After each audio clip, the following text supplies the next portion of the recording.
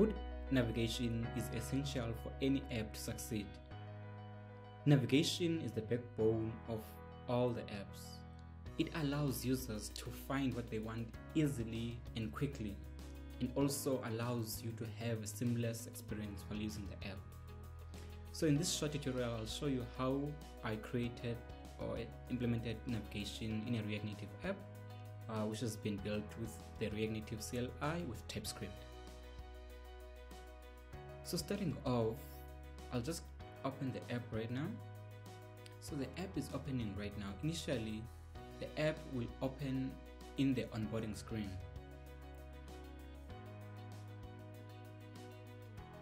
So I'll just show you how I implemented the navigation structure and I'll explain a bit uh, for a moment. I'll just press on login now and then you'll see that we have bottom tab navigation and it will take us to multiple areas.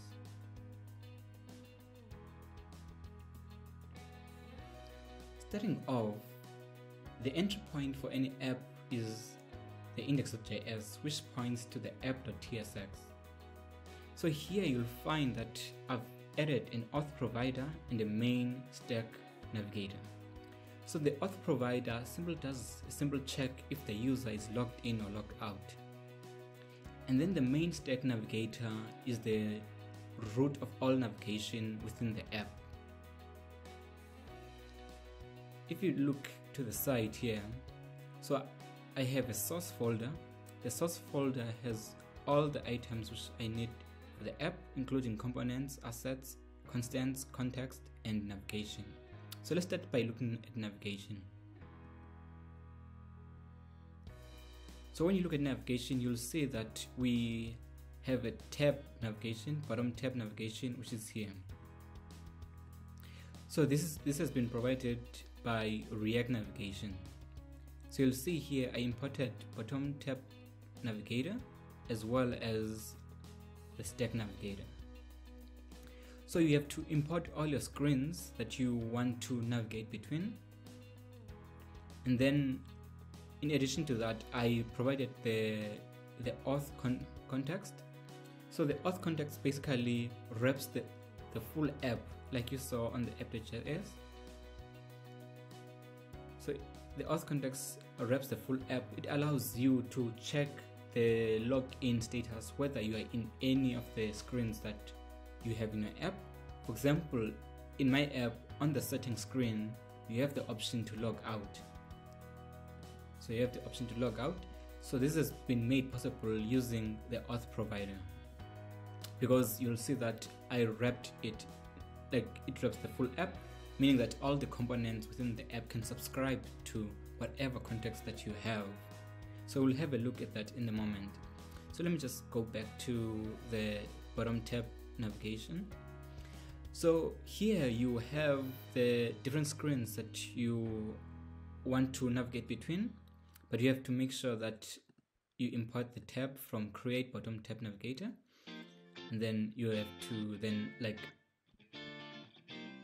put all, put all, your, all your screens um, then you must remember that uh, the name here you'll be using the name to when you want to navigate to any screens you'll be pointing to the name. So you must make sure that these two are either the same or they're unique sense that you shouldn't repeat any of the names uh, because that will confuse the system going down we have the main stack navigator the main stack navigator will have the context that we, we spoke about. Uh, if it'll check if the user is logged in, logged in or logged out, and then it also has the ability to, to log, log a person in. So it's using async storage uh, for to it stores a token whenever a person logs in. It stores a token uh, for for that entry so that like whenever a person opens the app again you still have that token. And then when you actually log out then it removes the token. So that's how it keeps tracks of whether a person is logged in or logged out.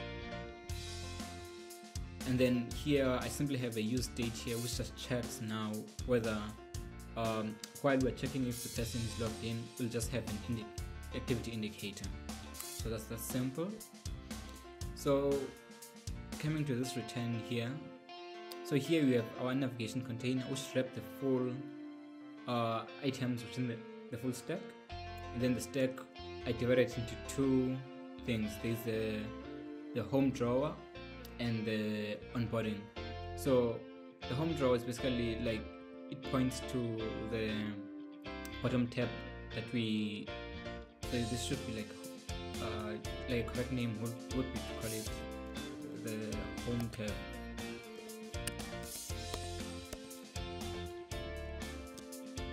the idea of this is that you shouldn't have for example i can't name the screen home because like now i already have a home when i was defining my tabs over there.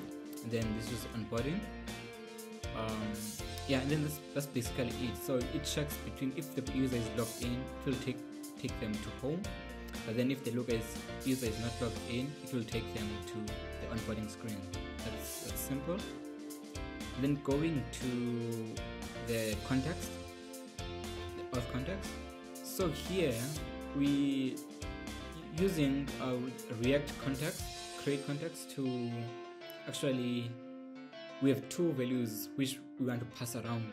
The, the full app which is uh, whether a user is logged in and the ability to log in the user. So so that's what we're doing here. So we use a, this create context to define the like the values that we have. Because we're using typescript we have to put in our types which is the interface here. So is login is a boolean just takes in uh, yes or no and then set login is a function which will take in that yes or no as well to set it up and then we simply pass that to the auth, pro- auth provider. As we said like the, the, the provider allows the children to subscribe to any value that you want them to have uh, in this case which is is which is the login state. So that's what we do here. So we have this auth provider which is auth context which is the provider. And then we pass in the values that we want the children to subscribe to and uh, and then we pass in the children. Children here you have to also pass, pass them in which is like the props in this case. So yeah that's that's, that's pretty, pretty much pretty much it. Uh, if you have any question just simply put it in the description uh, in the comment section. Yeah but uh, i hope you like this walkthrough. Simple way to implement navigation within your app cheers